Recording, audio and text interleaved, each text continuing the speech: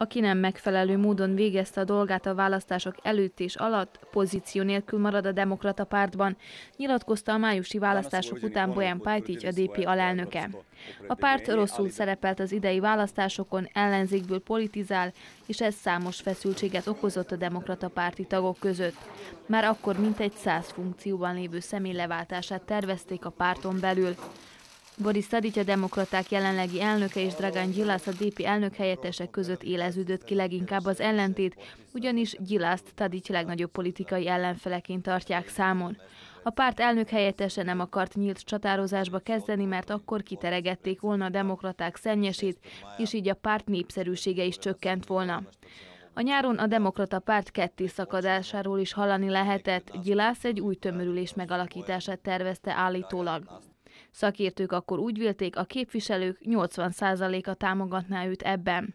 A többség Tadityot okolta a választási vereség miatt. A szerbiai választások után a demokrata párt vezetéséért kezdődött kampány. A demokrata párt most a november 25-ére halasztott tisztújító közgyűlésre készül. Az eredetileg tizedikére tervezett gyűlés időpontját ma változtatták meg Tadic javaslatára.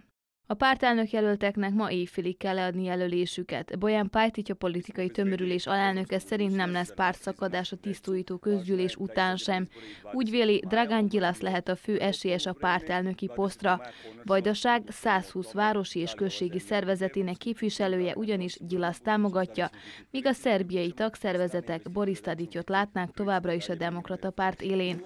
Pajtic elmondta, függetlenül a november 25-i párton belüli választások kimenetelétől számít Boris Tadicsra a DP vezetősége.